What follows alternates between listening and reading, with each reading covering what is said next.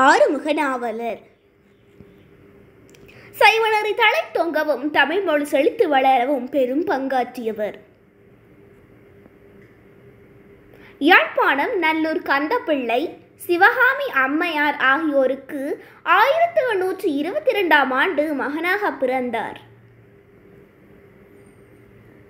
இவரது கல்வி புலமையும் நாவன்மையும் சைவத்தமிழ் தொண்டையும் பாராட்டி திருவாவடுதுறை இவருக்கு நாவலர் என்ற பட்டத்தை வழங்கியது.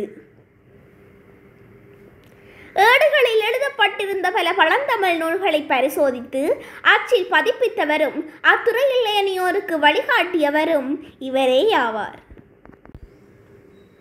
சைவத்தமிழ் பணிகளை இடையூறின்றி செய்வதற்காக தமக்கு கிடைத்த உத்தியோகத்தையே தியாகம் செய்தவர். யாழ்ப்பாணம் வெஸ்லியன் மெதடிஸ் மிஷன் மத்திய கல்லூரியில் சிறிது காலம் ஆசிரியராக பணியாற்றினார்.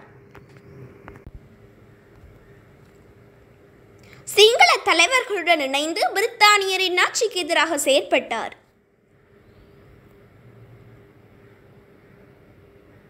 இந்து சமய மறுமலர்ச்சிக்காக முழு மூச்சாக நின்று செயற்பட்டார்.